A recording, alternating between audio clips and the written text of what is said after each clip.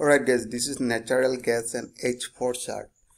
So in all time frame, natural gas is running in a downtrend. Let me show you.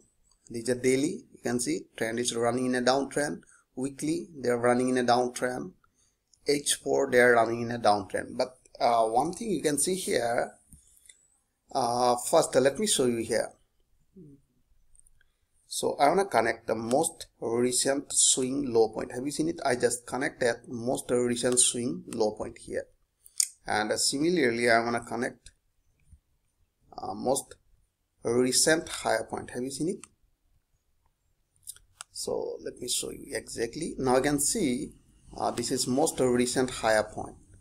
So right now price is running like that. And let me show you here. Have you seen it? They are running like like this. All right so they are targeting toward this lower. So you can say this is a supporting line like that. All right so similarly we have seen in our previous market behavior we have seen like that. Uh, so let me show you here. We have seen. And here you can see uh, price was running like that. Have you seen it uh, let me connect properly. Right now you can see here they are uh, they was running like that in a triangle shape. All right. So after that finally we have seen they broke this uh, supporting line and price dropped down from this area. Have you seen it?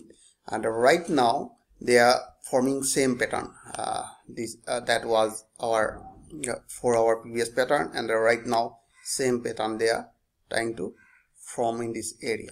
All right. So basically this is called trend continue pattern. All right. So that means trend is running in a downtrend and when they are appearing this type of pattern it is confirming that or it is probability that the downtrend will or you can say it, will continue toward downside. All right. So now you can see uh, we have seen how many wave was there. We have seen first wave second third fourth fifth and finally six wave uh, broke this supporting line. So here how many wave still uh, they uh, completed? One two three four five and this is also six uh, trend. So it means it is uh, probability to break this supporting line. All right. Uh, so let me show you your anti point just a minute. All right. And I can see here uh, let me show you in H1 chart.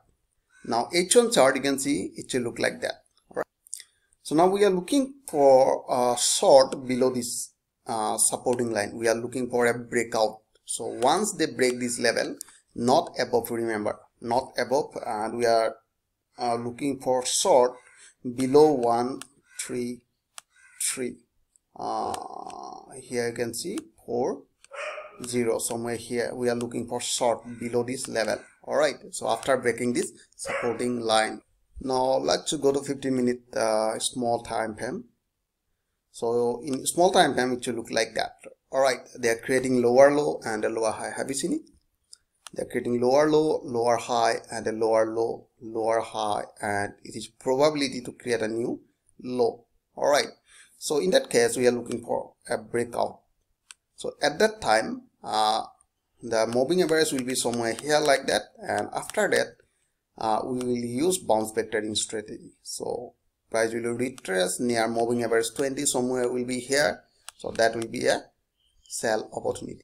For the buy we are looking for a trend reversal pattern or you can say divergence. All right. So in my previous video i already explained uh, how to identify that uh, trend will reverse from this area. So just go to my another youtube channel. You will find how we identify uh, trend divergence right? That means uh, how we enter uh, uh, buy during downtrend. This is called counter trading. All right.